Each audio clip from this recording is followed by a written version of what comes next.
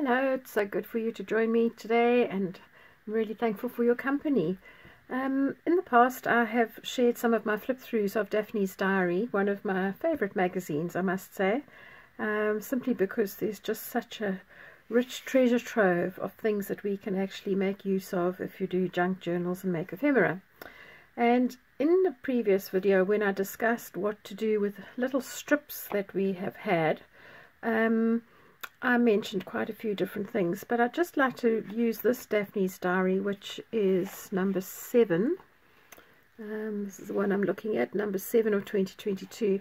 I'm just going to use this to show you again what I was referring to, because some of you might not have watched that video.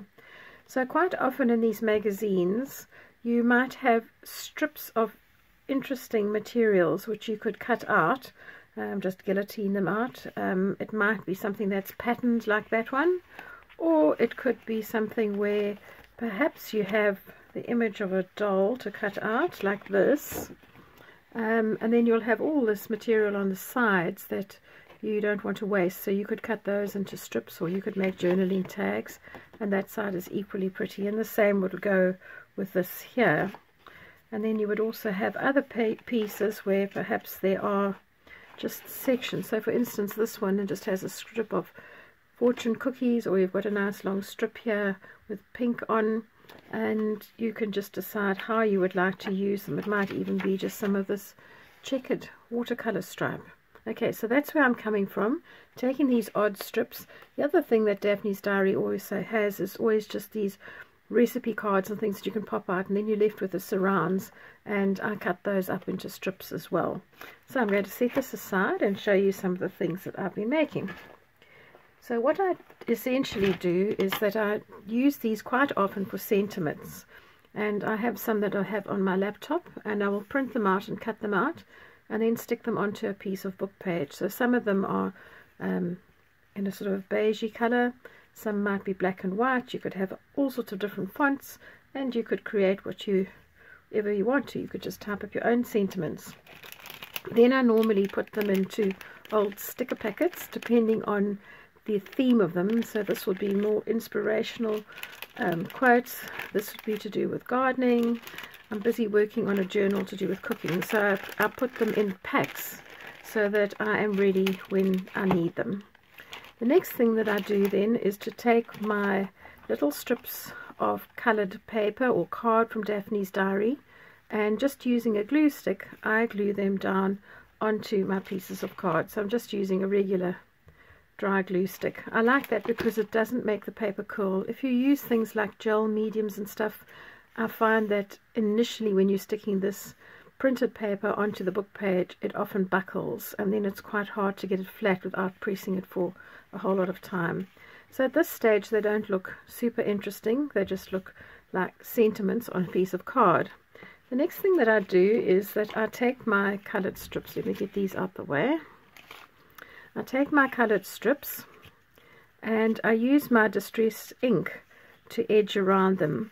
And I know it's a strange thing to say, but it's a bit like putting a mounting board around a painting that you're going to hang on your wall. It just kind of draws everything together. So as you can see here, I have used this Distress ink, which is the Antique Linen. And it's a very, very pale brown, so it's given you this very, very faint little edge around it. And you can see here, I haven't even trimmed this edge because I like it. That's where the page was joined to the spine of the book. Um, and this very, very soft colored brown you can see here again just shows up so nicely on this. I'm going to demonstrate though now with a slightly darker one so that you can see what I'm talking about. So I'm going to push all of these that have been inked to one side. And let me just take this is vintage photo. So it's not the darkest of the browns that I have but it is dark now I know quite a lot of you use blending brushes and things. I don't like too much on mine so I actually use the side of my ink pad to ink up just to get a coloured edge. And I literally just run it along the side. I have a tendency to be a little bit messier than I'd like to be sometimes with these inks which is why I like this method. And I literally just run the paper along the edge like that.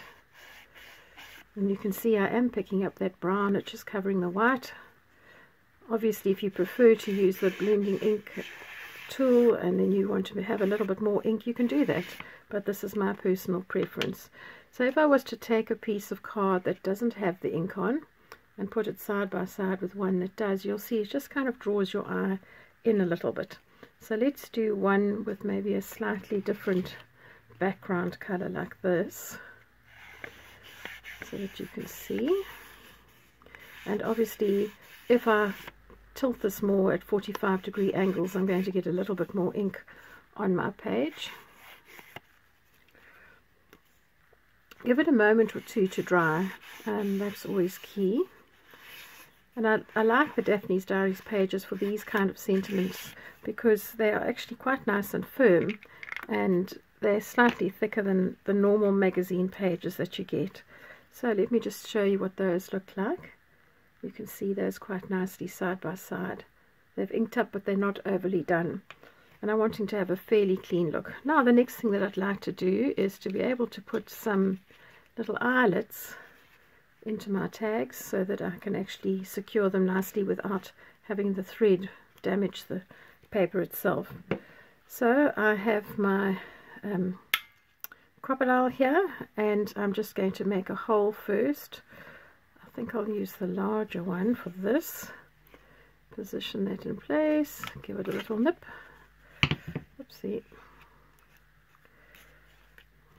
And this one as well.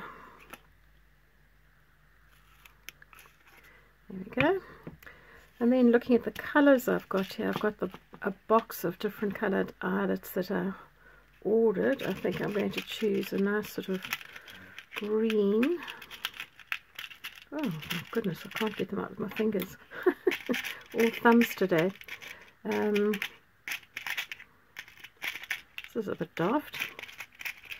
Right, there's a blue one for that one, and I think I'm going to use a nice yellow one for that. So I have already set up my little eyelet hole punch there and I'm going to just put my eyelet over the hole like that position it so that the little pointed bit goes down into the hole and it rests on the base plate like that and give it a nice firm squeeze there we go and that's nice and secure there and it just adds a really nice finishing touch to that so let's do one more together